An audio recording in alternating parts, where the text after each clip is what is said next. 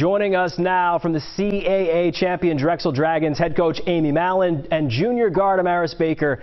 Uh, Amy, first, congratulations on the win. Uh, how incredible were the last few days from where you were standing?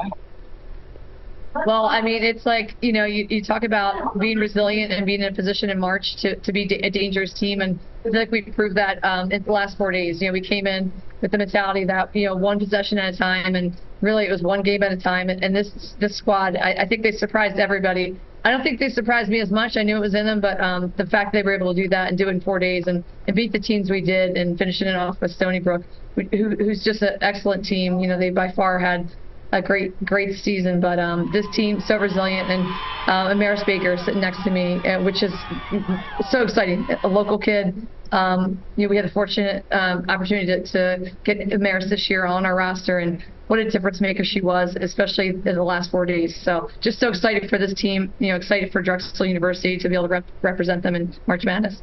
So, Amy, this is your second trip to the tournament as head coach. You went back in 2021. What do you think you can take from that experience then into this one now?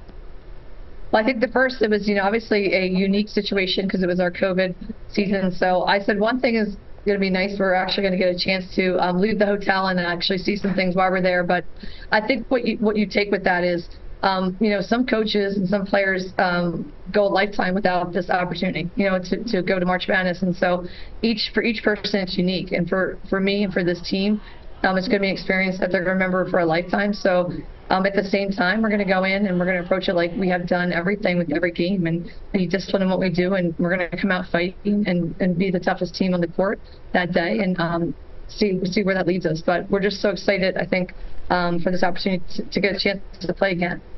All right, let's turn to one of the stars of the show. Amaris, are you exhausted after that run? Are you ready to go a few more rounds maybe? Um, I'm not exhausted. I still got a whole bunch of juice left in me. I'm just super excited. so why do you think everything clicked right now with you and your teammates? What what led to this amazing run through the tournament?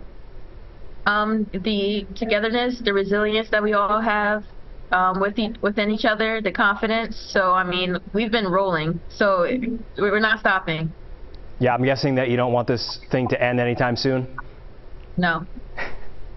All right, Amy, you're going to face Texas in Austin. It's a tall task. You're a 16 seed against a one, but what's your message going to be ahead of the game? Yeah, I think, you know, going into a game like this, an opportunity to play against Texas number one seed, again, how many people have an opportunity to do that? You know, when you play on the team, you're going to play one of the best teams in the country. So um, that's when you're a player and you want to compete, you, you, always want to have an opportunity to compete against the best. So we're going to have that opportunity, and I think um, you know I think we're going to give them our best shot. I think that's what we always do when we step on the floor. So um, you know I'm excited. I'm excited to get back to Texas, uh, and we, we said we're going to have an opportunity to keep marching, and I think that's been our goal since day one. So um, we will definitely show up, and I know we'll make Philadelphia proud.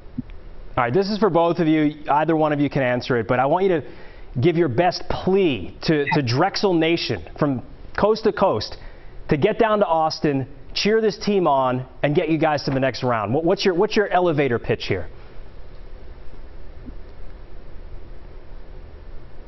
Dragons are real. You need to come support us. And we're not stopping. We're going to keep on marching. We're here for a reason. Amy? I, I, I, I'd kind of go right on that. You know, I said we we were picked number seven this year in the conference. You know, we finished number seven, but right now we think uh, seven is pretty a pretty lucky number. So we'll call ourselves lucky lucky seven right now. So I'd say this is a team that people want to see because you know we weren't picked to really do anything. Even all conference selections, we we had nobody represented. But as a team, I think we showed um, our best in, in the time when we needed to. So come out, support this group. They're they're great uh, group. They're going to fight. I think you're going to love the way we play when you see us on the floor, and, and we're going to fight until the end, and that's what we do and we'll continue to do. Amy Mallon, Amaris Baker, good luck. Enjoy the game. You're making Philly proud. We appreciate it. Thank, Thank you. you. Go Dragons.